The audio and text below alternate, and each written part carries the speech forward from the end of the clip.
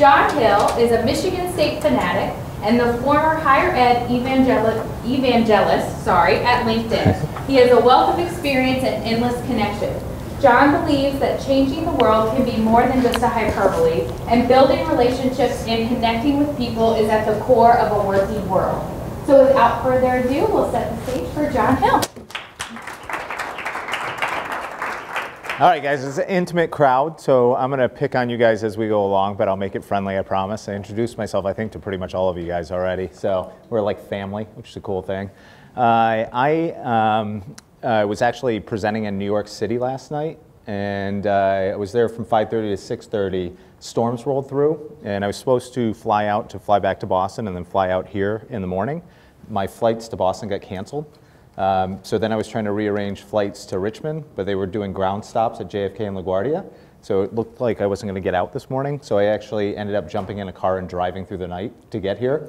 So if I pause at any moment, know that it's part fatigue, um, but it meant a lot for me to be here. Um, I've now given about a thousand presentations in the last 10 years, and I've never missed one and I wasn't going to let Longwood be the first one that I missed. So did everything I could to be here. Um, I am a Boston kid through and through. You'll pick up a little bit of my accent as I go along. I was a spokesperson for LinkedIn, and they essentially homogenized me and made it so that I didn't have that Boston accent as much as I used to. Uh, but uh, I'm a Boston kid through and through, and I just wanted to show you guys how Boston I am, relate a personal story for you guys, and then we'll get going into how to develop an effective network. So.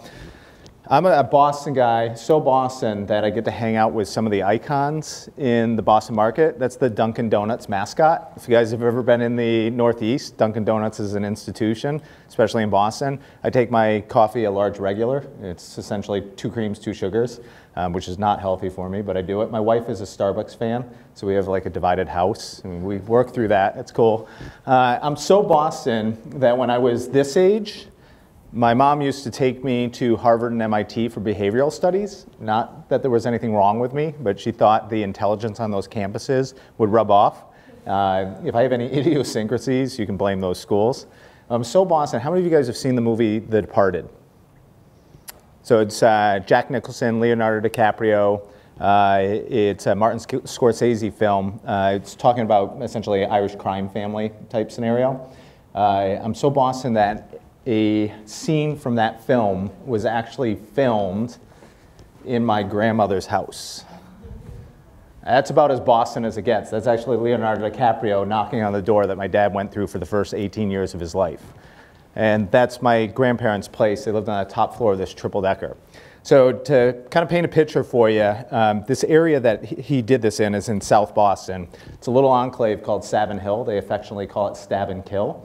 Um, it's not the best neighborhood. The reason Martin Scorsese picked the area to do this film is because it wasn't gentrified.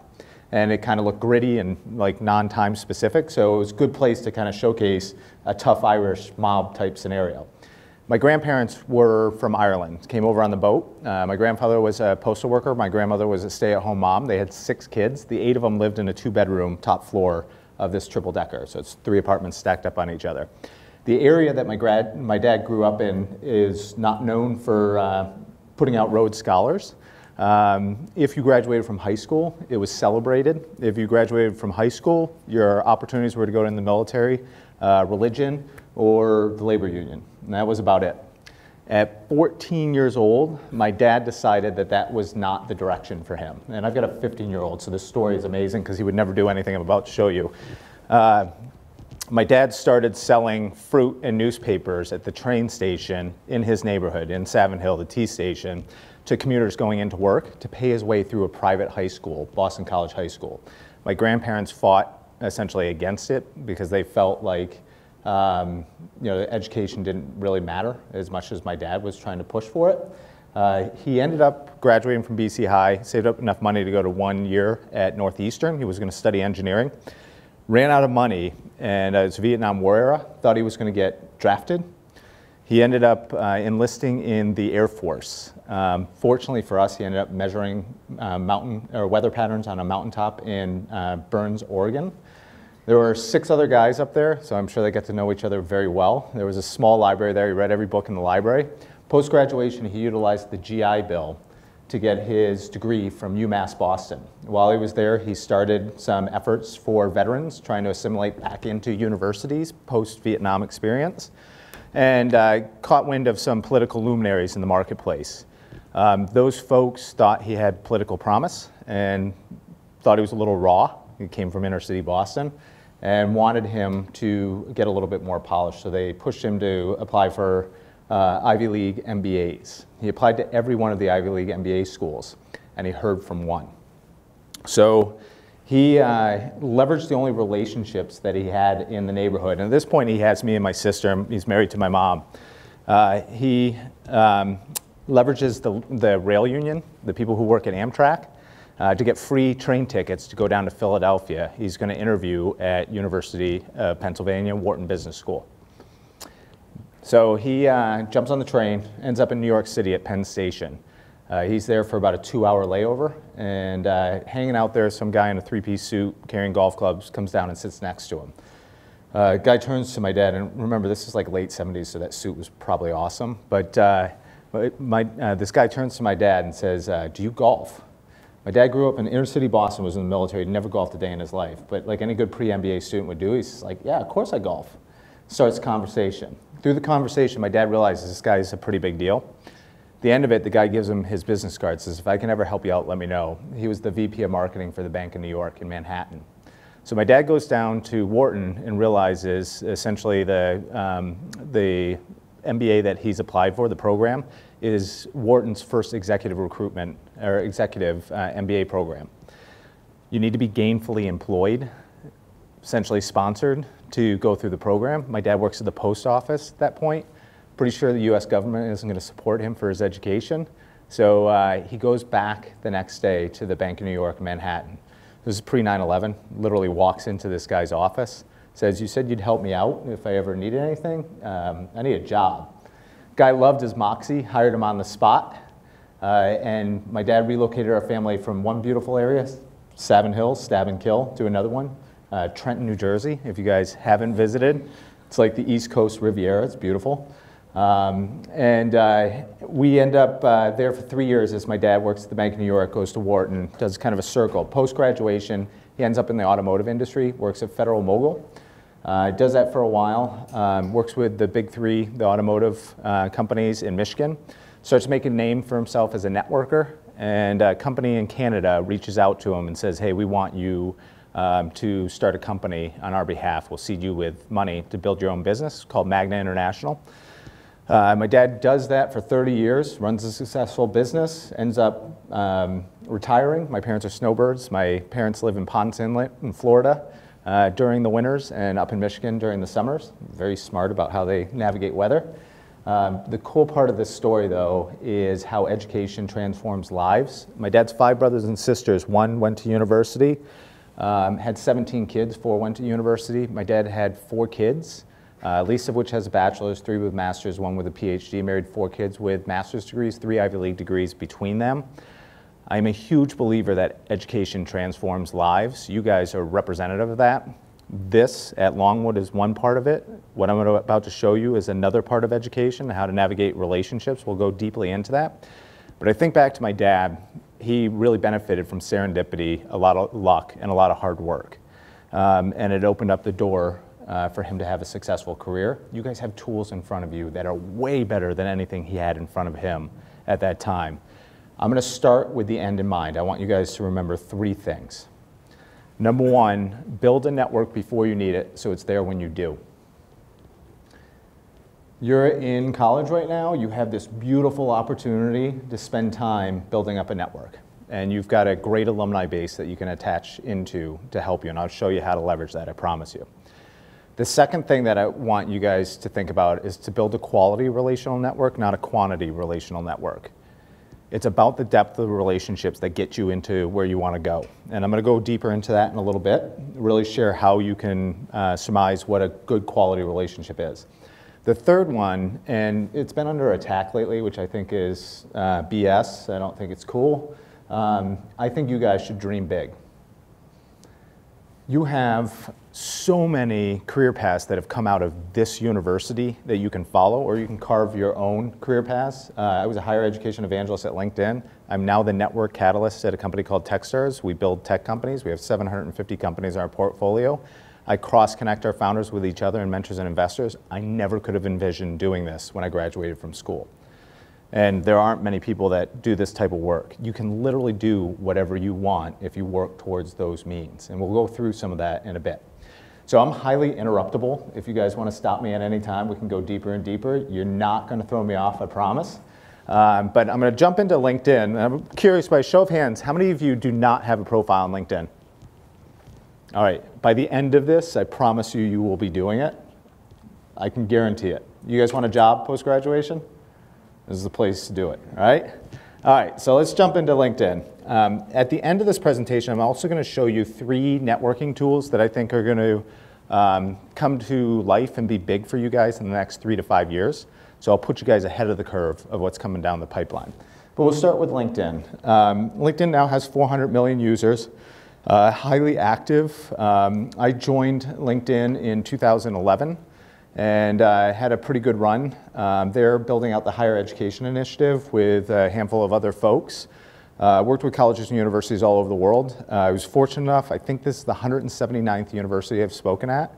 Um, I've spoken at 91 of the top 100 US institutions, 143 of the uh, Global 400 based on the Shanghai rankings. Also spoke at 110 conferences in higher education um, while I was there. So I get you guys and what higher ed is trying to do to help you uh, find opportunities post graduation. It's a pretty good tool uh, to help you navigate uh, and get to where you want to go. So I'm going to start with um, how I started utilizing LinkedIn. Uh, it was just a way to keep in contact with my professional network. So if I come up here into connections, it's going to take me into all the people I've connected with at a first level. They're essentially like my friends on Facebook. Um, and then LinkedIn has started doing something over the last couple years that I think is invaluable for you guys. It's starting to showcase people who are on my first level connections. These are essentially like my friends. Uh, changes that are happening off their profile in 24 hour increments. So this refreshes every day. And it shows five things. People who have had birthdays, very similar to Facebook. But the four other ones I think are important for you guys, and I'll show you how I utilize them. They show people who have had work anniversaries. So I can shoot a note to somebody and say in my network, hey, congratulations that I, I see you've been at that company for three years now. Wow, time's flown type thing. It's just a little piece to say that I'm paying attention to them that pays off in the long run, I promise you. Number two, I get to see how people have moved from one area. It'll show somebody moving from Boston to New York. What I do there is I'll uh, connect the people who have moved from one location to another to people I know in that market. And I'll say, hey, um, you know, these are good people. I think they'll help you out. Again, I'm paying into my network a little bit. It'll showcase people who have been mentioned in the news. And as you guys progress in careers, some of your contacts are going to do things that are newsworthy.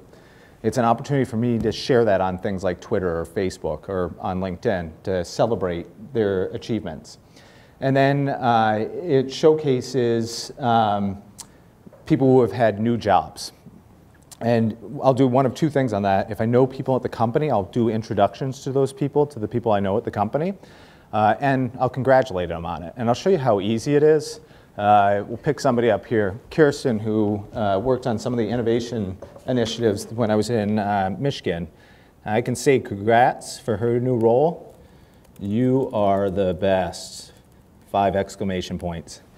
When I hit uh, comment on that, it sends her a note. That easy. I spend 10 minutes a day every morning going through this, congratulating people or trying to connect them with other folks. That's it. With that 10 minutes a day, I probably reach, I don't know, in a given year, 3,000 people with personalized notes celebrating the milestones that they're hitting. It's such a simple thing, but it's a way to stay attached to your network. Now, I can also search all my first level connections. I'll get a little deeper into what connections mean on LinkedIn. Whoops. But if I come down here, these are all the people I'm connected with. I can search it and look for specific people. So I'm going to look at one of my friends. His name's Brent Grinna. Uh, Brent's a serial entrepreneur. entrepreneur. He starts a company like every six days. This is one of those guys you love to be attached to. He's high velocity. For you guys, this is the type of guy who creates opportunity. I met Brent when he was building his latest company called Evertrue uh, about four years ago when I was at LinkedIn. He had three employees at the time. They now are closing in on, I think, 75, 80 employees. Um, he um, connects university databases to social cues. So if you guys like something that Longwood does on Facebook, he can connect it to the backend database for the alumni and development folks, kind of see what your interests are. So they work with about 400 uh, universities uh, at this point, keep growing. And uh, he does some pretty cool things on his profile. Um, one, he's got a good picture and a background image, showcase the work environment that they're in. Uh, second thing he does, which I think is going to be more and more important for you guys coming down the pipeline, he shows his subject matter expert, expertise. Uh, he's what's called an SME. Uh, what an SME means is essentially people go to him for knowledge. They're trying to figure out how to do certain things. He's really knowledgeable about alumni. All of you guys are going to develop your voice in what you're known for professionally down the road. Utilize that voice to project to other people so they can see how your depth of knowledge is in that area. And he uses his profile on LinkedIn to showcase this. You can all blog off your profile on LinkedIn. So that's one thing he does. I go down a little bit further. He's got a summary of who he is and what he's about. So he's sharing with people um, his narrative, his story of who he is professionally. He's also attaching rich media, so he can put video here, he can put PowerPoint, uh, he can put different um, uh, representations of who he is that give you a better view of you as a professional outside of a resume. So you guys have done some work in class, right? You've done PowerPoints, you've done papers, um, you've probably done some video work at some point. You can attach that information to your profile to showcase the work you've done in the classroom as it relates professionally. Go ahead. Uploading? yeah, and it says put a URL in, and that's where I get confused. Yeah, there's an upload you can do on PDFs. Um, Ryan, I'll shoot that to you later because I can't remember what it is, but in that way you can attach. Um, but double check, see if it will take it off your desktop. Because they've been working on that for a while. I thought that was already fixed. So it's an interesting, good question. I appreciate that. All right, so if I scroll down a little bit further, you can see his experience. Um, I'm going to take this from two different lenses. For you guys, don't talk about the details of what you do. Talk about what you achieved in the roles that you were in. Showcase the good work. Create a story about yourself professionally in this space, and that's what he does there. If you read it, he's telling what his company is, sharing that information. He's going in depth. From an alumni perspective, you can start to see how Brent got into the position of being a CEO of his company you can see the steps he took from university to this point. And it gives you guys an opportunity to start to follow those footsteps, follow that pathway. Now, if I go down a little bit further, LinkedIn allows your network to endorse you for skills and expertise. Um, these are lightweight recommendations that you have these skills and expertise professionally. Uh, by show of hands, how many of you have been endorsed for a skill or expertise? All right, so a pretty good amount of you. Um, a lot of you haven't figured out what you're known for professionally. This is your network giving you an idea of what they think about you professionally. If I had Brent here right now, he would tell you he's known for entrepreneurship, leadership, startups, fundraising. It's the world he's in right now, and his network is reinforcing it. If you don't know who you are professionally, this is a way for your network to start to let you know um, who you're about. And you can use this in your summary. You can use this in an introductory email. You can use this in your elevator pitch as you uh, start to reach out professionally going forward. So I'm going to go back up to the top, and I think that this is one of those differentiators. You're going to connect with people professionally, and just as an aside, because I'm not going to go into it in depth, um, customize the messages when you try to connect with people here. It gives you the option on the desktop, not on mobile, not on your phone, so make sure that you put it in context why you want to connect with somebody, what value you bring to the table, what your expectations are of the relationship. It at least gives somebody information about why or why not they should connect with you. Um, but I'm a huge believer of capturing conversations around the relationships you have. How many of you guys want a job post graduation? All right, you're going to have to talk to a lot of people to get that job. And so you might as well start to capture those conversations so that you know you can refer back to them later. And so off profiles, and this is free for everybody who's on LinkedIn, you can keep notes in this little relational area on all your connections. And you can say something like, on 311, Brent and I talked about starting a biz. Brent moves quick, so on 312, we started a biz. 24 hour business plan was brilliant, so on 313, we failed. Wah wah. if I save this to his profile, I'm the only one who can view those notes. Nobody else on LinkedIn can view that information. I'm capturing the conversation around the professional relationships I have. As you talk with people, as you talk to alumni, professionals in the field, as you connect with them on LinkedIn, keep notes here so you can refer back to it on the next conversation three, six, nine months later. And you have that information. I still do this from five years ago. I'll fly into a city like Phoenix and I'll look at my connections that I've talked to before and I'll catch up on the conversation based on the information I've captured off this profile. Now, another really cool thing I can do is I can set up tags that allow me to search more effectively on here. So I can add Brent um, to, right now I've got him selected as a good person for entrepreneurship. If I click on this, it will show me all the people that I've set up as good people for entrepreneurship. For you, you can start to set up all the people who you're trying to cultivate as relationships as you go into the job search. So people you've interviewed with, alumni you've talked to. And that way you have them all listed, very easy to access uh, as you go along. Now, I'm going to show you one trick, and link, LinkedIn is the only social network that allows you to do this. If we go back to connections, if I have all those notes on the profiles, if I have um, all the first level connections that I have, uh, and I want to get that information outside of LinkedIn, if I hit this export LinkedIn connections, I can put all of my first level connections and take them out of LinkedIn. So now I have all the people I'm connected with, the companies they're in, the positions they're in, the industries they're in, the notes that I've taken on them in an Excel spreadsheet. That's essentially what a CSV file is. And then I can do whatever I want with it. So then you can access it and you can start to use it to see what companies you're doing well with that you're trying to connect with, which ones you need to build more relational capital with. You can start to see the strength of your network and the weakness of your network, and then accentuate it from there. So it's a way to start to pull this information in, out and do whatever you want with it. Now, this is all well and good. Um, as you develop uh, connections, you want to be able to search them. So we're going to go actually into the 400 million people. Go up to this advanced search uh, button over here. And I'm going to start to take you into search. But before I do that, uh, I want to kind of play on a scenario to give you guys an idea of how LinkedIn works. So you and I are not connected on LinkedIn. But say you're connected to her and she's connected to her. Once you and I connect on LinkedIn, you become a connection. You become a connection of a connection, second level connection. You become a connection of a connection of a connection, third level connection. You and I join a group together, we can see everybody in that group. This becomes my relational network. That's how LinkedIn works. It's degrees of separation, all right? But each one of you offers different things. So as a direct relationship, and remember what I said at the beginning, we want a quality relationship, not a quantity relationship. Um, you're very important. Uh, so say I went to Longwood too. Uh, you and I went to class together, um, used to hang out, study. Uh, you know, we used to um, do organizational things. Post graduation, we got married, not to each other, because my wife would be really upset about that. Uh, but uh, stayed in touch professionally as we kind of grew along. Right? We know each other well. All right. Say you've built the same relationship with her. You're connected to her. I'm connected to you. If I ask you to connect me with her, are you likely to do it? Pass the message along? Are you likely to respond back because you know her well? Yes. Right. So what we learned at LinkedIn is these people, this little triangle right here is highly effective of getting you to where you want to go.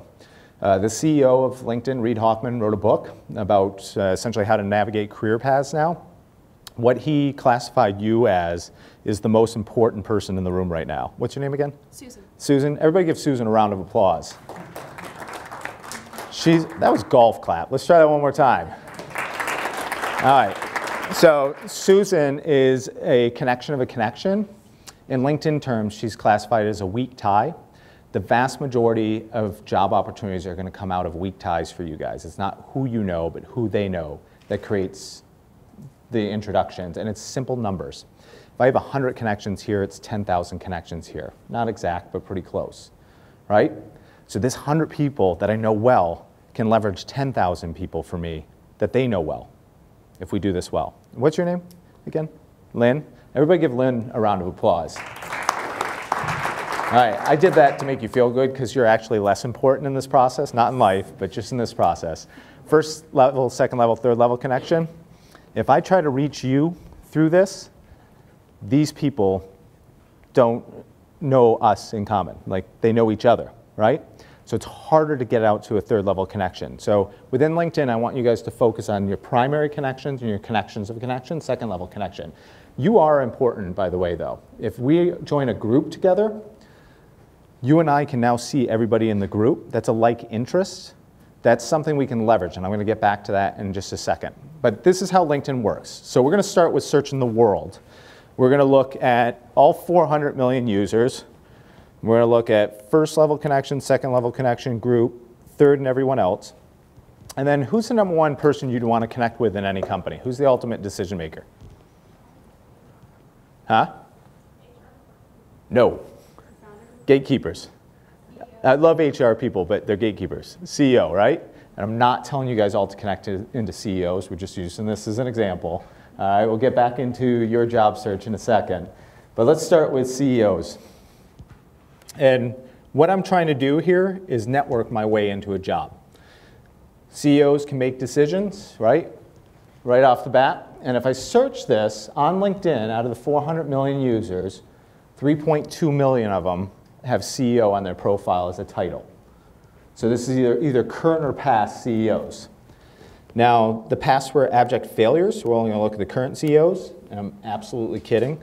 Uh, and we now have 2.5 million um, CEOs. What university do we want to check? That, that was not a, a trick question, I promise you guys. All right. So let's look at Longwood.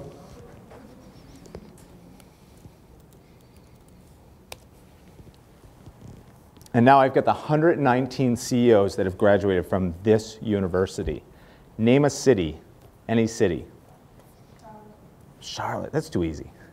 Let's do the beautiful people of LA. Uh, it's the only zip code I can remember, 90210. So let's pop this in real quick.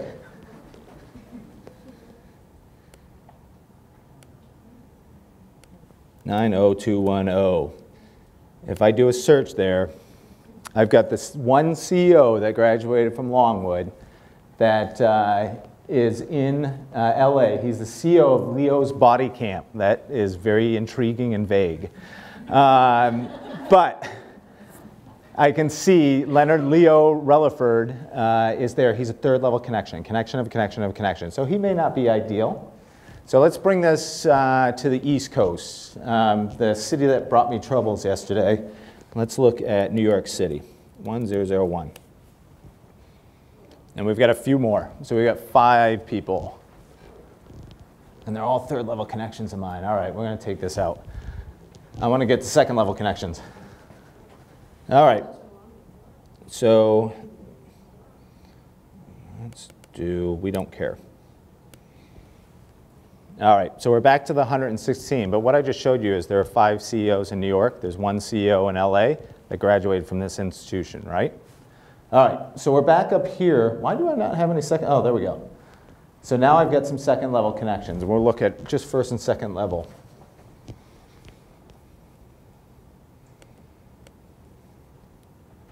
All right, so here are the seven people that I'm connected to that have CEO on their profile, some level, that went to Longwood that are a connection of a connection.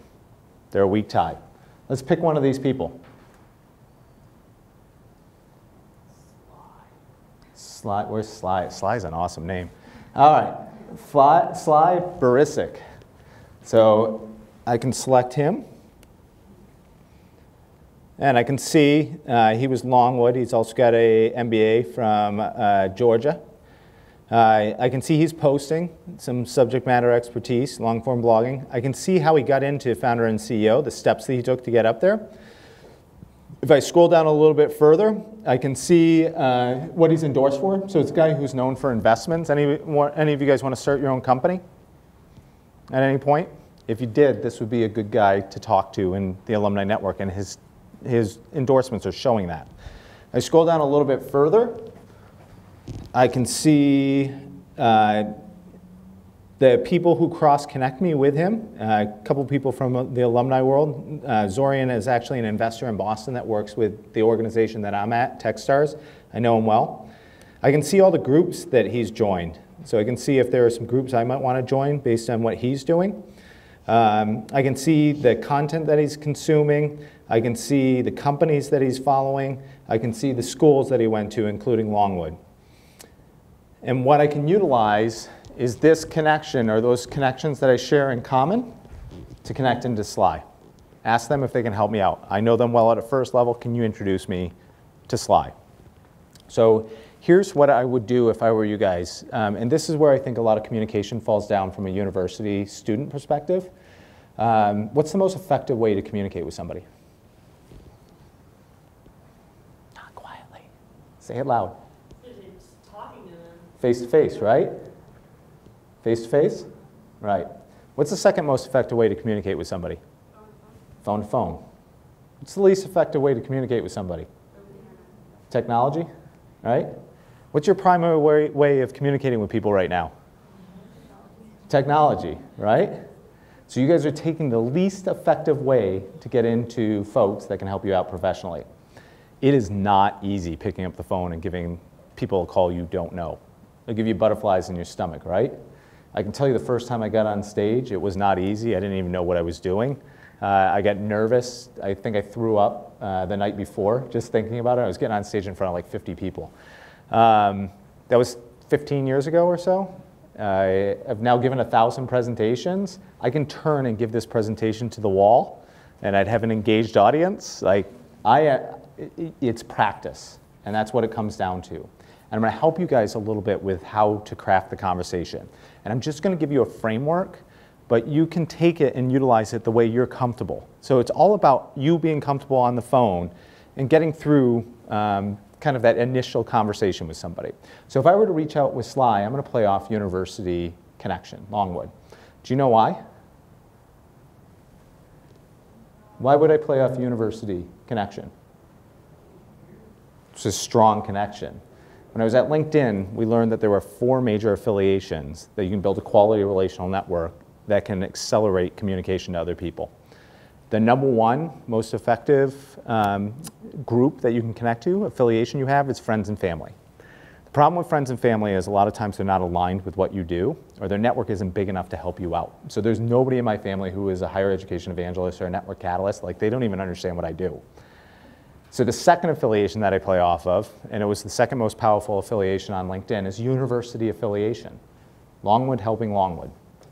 Highly powerful affiliation. I'll tell you, most of your alumni don't even realize how powerful it is. They still lose it as they go in the professional world because they focused on the third one, which is shared work experience. How many of you guys have worked before?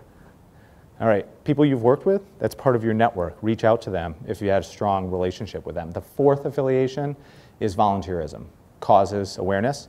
If you focus on connecting with people who have those shared affiliations at a first level, you're going to build a quality relational network. But I'm going to play off university with this one for one specific reason.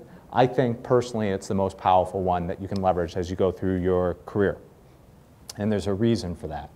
Um, you guys already are emotionally connected to here if a student from the high school you came from were to reach out to you and say, hey, I want to learn a little bit more about your experience of Longwood, what it was like, by show of hands, how many of you would take that call?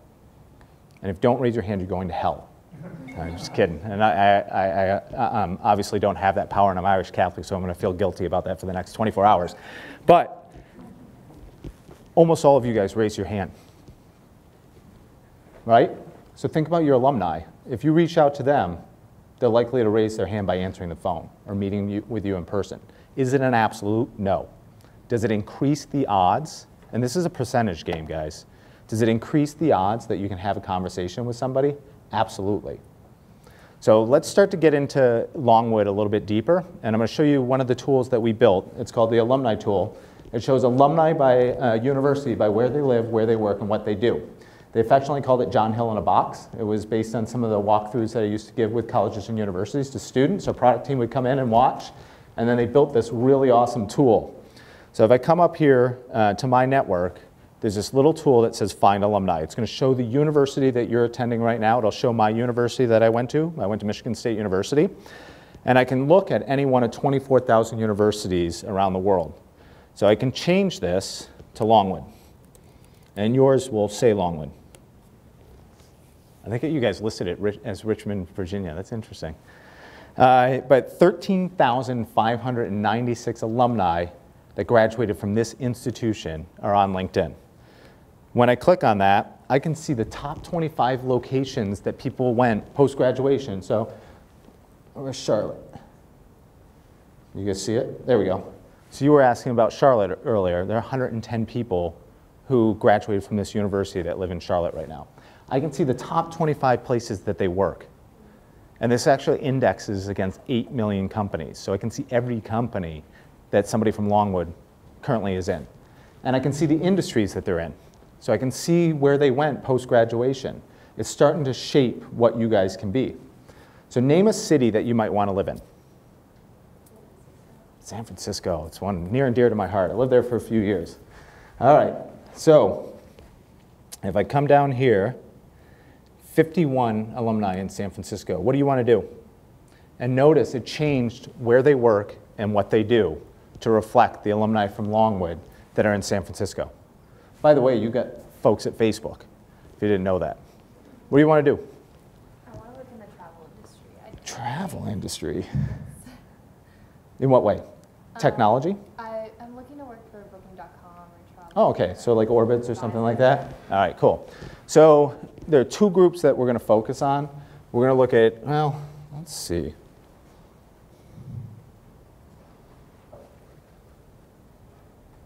Mozilla. All right, we're going to focus on entrepreneurship and technology. These are going to be people who are plugged in in the Bay Area. So we're going to select information technology, and it'll reflect that on where they work. We're going to select entrepreneurship. We're going to select, what else should we do? Product management, be a good one. So Mozilla uh, would be a good place, but what I have now are the alumni that graduated from Longwood that are in San Francisco, that are in tech, that are in product management, that are in the areas that they may be networked to other people who could get me into an Orbitz or uh, Airbnb or whatever kind of company you want to work at post graduation. Those are the network that you should start to focus on to start to break into the San Francisco market and you pick up the phone and give them a call. And the cool thing is, I've got their years of graduation. So, for instance, this guy graduated in 78. I might be a little bit more comfortable talking to this person who graduated in 05. The other thing I can see is the connections that I share in common with these folks. So, if I hover over this, I can see Lee connects me with Matt. And I can utilize Lee to get into Matt. One of the things that you guys can do immediately to kind of strengthen your networks is cross connect with each other. You can help each other out because you're going to know somebody that she needs to access. You're going to know somebody that she needs to access. So start to connect with other students on campus as much as possible. Um, but think about what I just showed you guys. All right, name me, somebody here doesn't know what they want to do post graduation. Right? Raise your hand if you don't know what you want to do post graduation. All right, thank you for being brave. What are you studying? I'm undeclared. Undeclared? So, I'm thinking about, well, I'm like pretty sure I'm going to declare social work. perfect. All right, watch this. This is a really cool tool that we built. So, if I come back up here, I'm going to clear all these. We're going to look back at the 13,000 people that are in Longwood. If I hit this little arrow over here, see on the right hand side, it's going to show me what they studied, what they're skilled at, and how I'm connected to people at Longwood. So you want to do social work. There are 278 people on LinkedIn that graduated in social work from Longwood.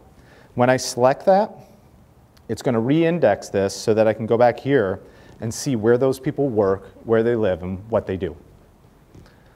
You have a map to the success patterns that people have already had with that major out of Longwood. You can see what you can become and it's not limiting, you can do whatever you want, but it at least gives you a view of if you pick social work, this is what you can be. These are the people you should network with. Is there anything up there that looks of interest? Oh, no. All right, what if I pick something for you? How about Horizon Behavioral Health? I have no idea what that is, but no. All right, let's pick. Be of interest. How about public schools? You want to help kids? No. All right. cool, cool. All right, we're going to stick with Horizon Behavioral Health. So again, If I select this, I've got the two people who graduated from Longwood that work at that place. So why is it important for me to start to pick people who are, say, the companies I want? Any of you guys want to work in the tech industry? Well, you want to work at Airbnb or something along those lines, right? Anybody want to work at Google, Facebook, Twitter, LinkedIn? None of those? Tell me one of you dream company that you want to work at.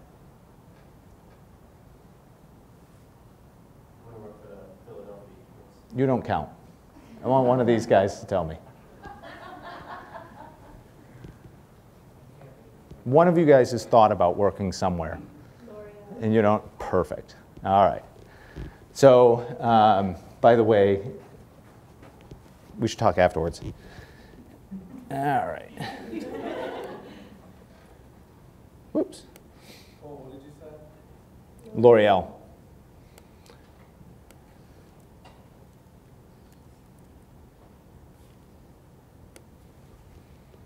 Okay, you have no alumni that are at L'Oreal. But, yeah, it's very true.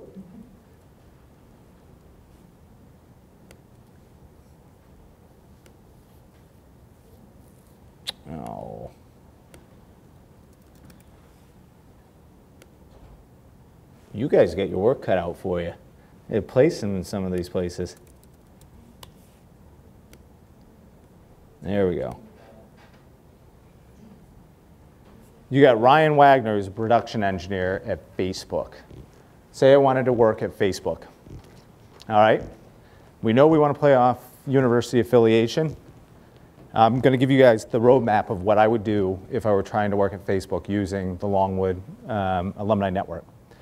I would Google Ryan uh, to find a phone number. I promise you it's not stalking. Um, and I would pick up the phone and give him a call. If you're more comfortable with email, you can start the conversation there, but you're going to use the same premise that I'm going to go to, all right? I'm going to pick up the phone and say, hey, Ryan, I'm a graduate of Longwood, or I'm a current student at Longwood. I'm really interested in learning a little bit more about who you are and what you're about. I just wonder if you take a few minutes to talk to me about that. In that two sentence structure, you've done two very powerful things. Number one, you've positioned him as the expert in himself. People love to be the experts in themselves. This conversation extender. Number two, you pay, played into the university affiliation Longwood. Longwood helping Longwood. What are you guys, Lancers, right? Lancers, look at that. Lancers helping Lancers. Uh, I mean, like, it's the same reason you guys raised your hand, that it increases the odds that somebody like Ryan talks with you. Right, that's what we're trying to do, conversation extenders, increase the opportunity to get into the back door of an organization. So I start that initial conversation, I go into the next thing. I ask him how he got his job at Facebook. Again, it's about him, it's a conversation extender, and he's giving you the pathway about how he got in. I ask him uh, what the work environment's like, so it allows him to tell me, um, you know, try on the suit before I even go into the company. Uh, I ask him what opportunities become available at Facebook. I'm not asking for a job specifically, don't do that. But I am asking him to give me an idea of what kind of opportunities may be available. At the end of the conversation, I would do one of a couple things. I'd ask him, hey, would you mind if I passed you along my resume or uh, my LinkedIn profile? If I ask that question, there are four things he can do. Number one, absolutely nothing.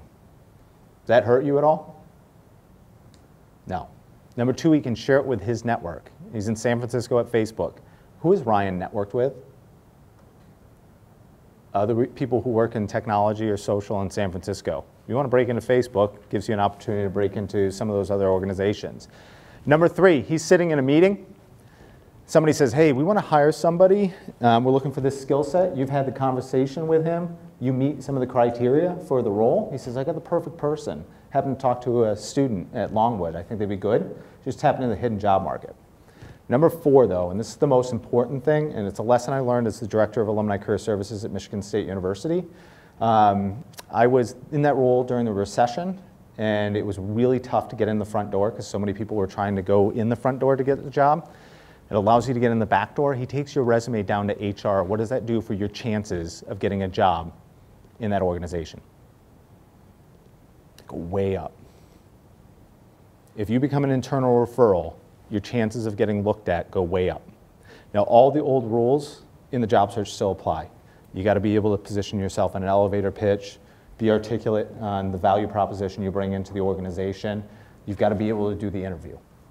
But it at least gives you a leg up. And that's what we're trying to do, is just increase the odds that you can get into where you guys want to go. All right, pretty cool, right? All right, let's take a little bit different look. Ryan, what are some of the companies you guys penetrate pretty well? I'd say we do really well at um, some of the Richmond companies like Capital One, Okay, Dominion, um, CarMax is another one. okay. We'll look at CarMax, we'll start there. Um, all right, I'm going to select this company. I'm going to show you guys a little hack on LinkedIn that you can use. If I select this and then turn around and just do a blank search, it's going to show me all 8 million companies that have a profile on LinkedIn. So this is every company globally that has a presence on LinkedIn. And then I can search from a region or a specific category or, or um, uh, company size, all sorts of different things. But I'm going to look at CarMax. And you can see um, I've got a listing, and if I scroll down on this, it gives me a description of what CarMax is. Uh, I can see what they're talking about. These are updates made by the companies. So they're giving me an idea of what uh, the company culture is through content. It's something I can review before I start to talk to people there. And what am I going to do before I pick up the phone and give anybody a call at any company? Research, right? I'm going to learn as much as I can. If I look down on the right, I can see I have 42 second level connections, connection of a connection, weak ties that are there. So we've got a lot of inroads through relationships that I can get into CarMax. If I go down a little bit further, on the right hand side, every time somebody visits a page and visits another page, LinkedIn calculates how similar those organizations are based on people viewing company pages. These are the six companies that LinkedIn feels are most similar to CarMax. Now, Altria I wouldn't say is one of those, or Bed Bath & Beyond, but there's some search patterns that are happening around CarMax. So it gives you an idea of some other places you could work if you were really zeroed in on one place. So like L'Oreal will have Estee Lauder and all the other uh, companies. It gives you a, a range of companies you can look at.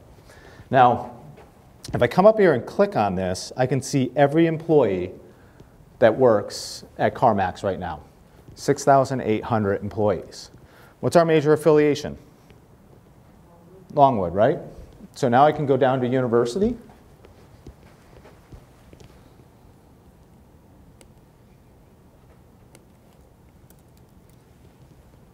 Select Longwood.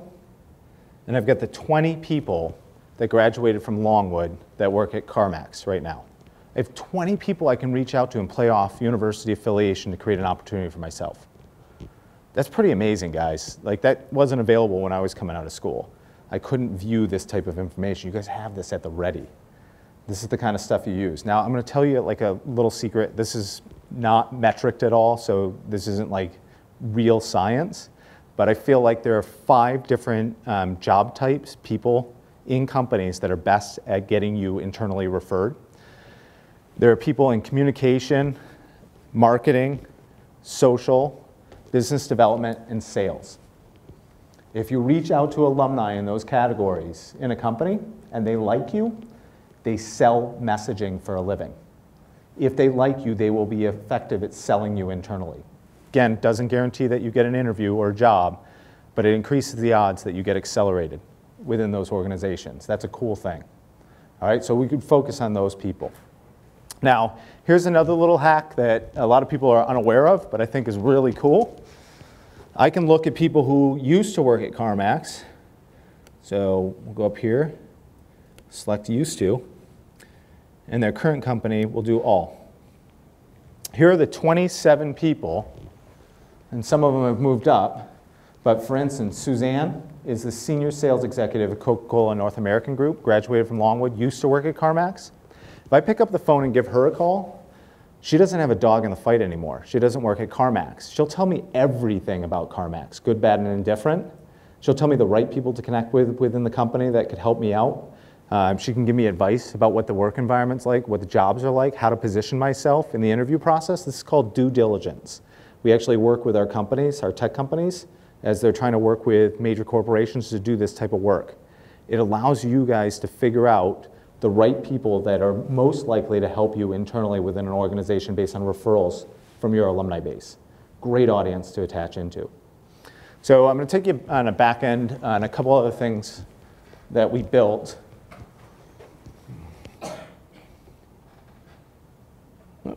For you guys, this is going to be under interests. I get beta tested on things. So it's under education. Um, give me another major in this room. Computer science. Are you computer science? Good job. All right. So if I select this, I can look at any major that is uh, cataloged um, globally. And there's computer science. So these are based on all profiles on LinkedIn. There are 3.2 million people who have graduated in computer science, and I can see what they do, what companies they work for, what universities they went to. It starts to break out what job opportunities are, are available for me if I graduate with that major. So this is the world in computer science. It's pretty cool. It's aspirational. You can see anything you want to do. Half those people worked with me right there. All right. We're going to go back up here, though, and I'm going to show you another tool for you guys because I'm not going to be able to cover this all. And we have, like, what, two more hours? I'm just kidding. Uh, all right. So for all of you, see this little university tab over here? I want you to follow through with this because I don't, I don't want you guys to lose this. If you click on this and go down here, there's a Higher Education Resource Center. If you click on Learn More, there's a tab for you up top and one for students. I want you guys to look at the for you one first. This is for career practitioners, so these are for those guys. Um, these are guides on how to navigate LinkedIn effectively as a student. So we have things like building a great profile, LinkedIn hidden gems, using the alumni tool, advanced search tips. If you click on these, these are eight minute videos of me while I was at LinkedIn. I should get paid for this, but I don't. But these are still there. Uh, these can help you guys on all the areas that I haven't been able to touch on today because there's too much content to cover in an hour. Um, but you go through here, I can walk you step by step on how to build an effective profile on this. Now, on the for student side, we actually created metrics for you guys. And if you come back up here, we have a LinkedIn profile checklist, building your professional brand, um, the LinkedIn or the LinkedIn alumni tool. Um, all these are pretty good. These are videos on the right-hand side. This is good stuff for you guys to consume just to see how LinkedIn was positioning how you can find a career or job post-graduation. So I'm going to show you one last thing, and then I'm going to back out. Uh, jobs, the most important thing. Name another city you might want to work in.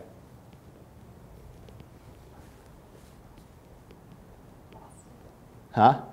Boston? You already answered. Somebody who hasn't answered. Somebody who's shy, who's going to have to pick up the phone one day and call somebody. Richmond. Richmond?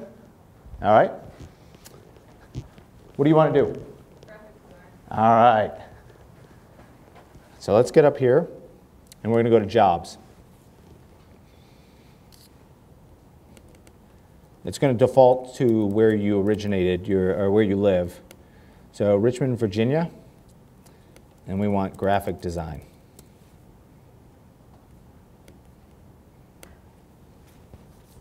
So here are the 30 positions that are there. And again, for every one of these, if I click on, let's just do capital one.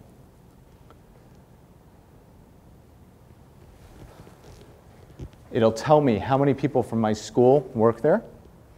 It'll give me a description of the job. It'll tell me how many applicants uh, are there, how many views this role is ha- has, so I can start to see um, who I'm competing against. It'll give me similar roles. And actually, this one at Chegg, which happens to be in Santa Clara, I know the guy who uh, posted it. So I can start to use my personal relationships to help me get into jobs. So that alumni tool I showed you guys, you need probably 20 connections through the university to make it effective. So connect with 20 people at Longwood, you're good. And then keep building from there. But that's the start. That advanced search that I showed you, to kind of start to look things globally, you need about 50 connections. That's it. That's not a lot. And it gives you a pretty good view of how you can get from a first level connection to a second level connection for opportunity. Um, one last thing that I'll share with you guys, because I think it's important. There's a tool at the free level you can see five people. It's called Who's Viewed Your Profile. If you come up here, you can see all the people who have looked at your profile. Hello. Ashley's here, right? Oh, I don't like Ashley right now. I'm going to delete her. No, I'm just kidding. Uh, so um, you can see all the people who are looking at your profile. There are a couple different ways to use this. Um, who should be looking at my profile? I work with tech companies. I'm in entrepreneurship. I worked in social media. I worked with higher education folks. Who should be looking at my profile? People who represent that, right? If I look at this and I notice that those people aren't looking at my profile, it means I need to change some of the content on my profile because it's not reaching the audience I'm trying to reach. They're not connecting with me that way. Now, the other thing I can use this for, say, um, I don't know who Juan is, but say I interviewed with Juan for a job uh, yesterday. And today I noticed he looked at my profile. What does that tell you? He's interested. He wouldn't look otherwise. For the first time in history, you guys have indicators, and it's not an absolute. Not everybody's going to look at your profile. Sometimes they're blocked. But for the first time in history, you have an indicator of somebody's interest of you as a candidate. That's highly powerful, guys. That allows you to take additional action, another thank you note, or another reminder that you have interest in that position because they took action on you. Pretty cool, right? All right, I'm going to show you very quickly one other tool that I want you to utilize for accentuation if you want. It's called Conspire. Um, Conspire actually validates the relationships you have in between people through email. So um, it shows you who's communicated with folks in your network. Uh, I absolutely love this tool. Um, they now have the ability to showcase how you connect with 87 million people through actual email introduction. So whereas LinkedIn, if I connect with you and you're connected with her, I can't always tell how deep your relationship is with her. This tool allows me to do that. Any of you guys heard of Elon Musk before? Tesla, yeah, it's a pretty big deal. Uh, SpaceX sends rockets into space. I can use this to see how I'm connected to Elon Musk. So if I type in here, oops, what it's going to do is it's going to show me the connection to Elon Musk here. So this is his actual relationship. It'll show me his Twitter account, Facebook. I can see what he's talking about, his work history. And then it's going to start to show me the people in my network who I communicate with through email who connect me with him. So David Cohen is my boss. He's the guy who started Techstars, the organization I work with right now. We talk all the time. Uh, David talks to Jason quite a bit. So this is a signal on how much communication is happening here. Uh, Jason talks to Elon Musk often. So I've got a pathway to get into Elon Musk through relationships. Now, remember we went to first, second, third level connection? Um, I don't know Jason, Jason doesn't know me, so I don't know if he would accelerate me into Elon Musk. But I have a connection of a connection. I have a weak tie that gets me into him. So I do tech conferences. I build large conferences on an annual basis, so I have to get speakers from all over the world. I've had some very unique speakers at some of these conferences. One of them is a guy by the name of Brent Bushnell. He uh, has created a uh, roving circus called Two Bit Circus. It's essentially the circus for today. He utilizes technology as the entertainment piece uh, for crowds, for audiences. So instead of animals, it's the tech. It's pretty cool. Um, I had him speak at our conference last year. We helped each other out, and it just so happens that Brent is directly connected to Elon Musk. Now, they don't talk a lot. I don't talk with Brent a lot, but he knows him and I know Brent well. I could pick up the phone and say, hey, could you introduce me to Elon? 100% that it would work? No, but I do know that he talks with, and communicates with him. So it's just another tool in your arsenal that you guys can utilize as you go along. And I want to go back to what I said at the beginning. Like, I think about my dad's pathway. It was remarkable what he did. Uh, all of us kids try to live up to what he was able to accomplish. Never will fully reach that uh, because it was pretty aspirational for a guy from South Boston, from Stab and Kill, uh, to figure out his way out. uh, and then provide the opportunities that we've had, which we will always benefit from. Um, he had the audacity to dream big and made it happen. Every one of you guys has that ability. And these tools can help you get there, but um, don't let anything slow you down. Jump off cliffs as much as possible. Those jumps feel less and less as you go. I moved my whole family uh, from Michigan to Silicon Valley to go work at LinkedIn on an initiative that could have died at any moment. And we ended up being successful and lucked out. And then I jumped again and moved from California to Boston. And again, jumping off cliff with your whole family, not an easy thing. You guys can take big risks right now. And from a pro- professional perspective, the more tho- you take those risks, the more opportunities will open up for you down the road. Uh, if nothing else, take away from this that you guys have relational capital that you can tap into that will help you out. Use it. So I want you guys to absolutely dream big. I appreciate you guys being here because I know it's like drifting into late afternoon and what is it, a Thursday night? I don't even know what day it is. Is it Thursday? Yeah, wow. Uh, anyway, um, Thursday night, right? It's like drifting into the weekend. You could let your attention go into different directions and you came here. That's pretty telling. Um, you know, keep reaching, guys. And I appreciate you having me here. And I wish you all the best in your endeavors as you go forward. So thank you.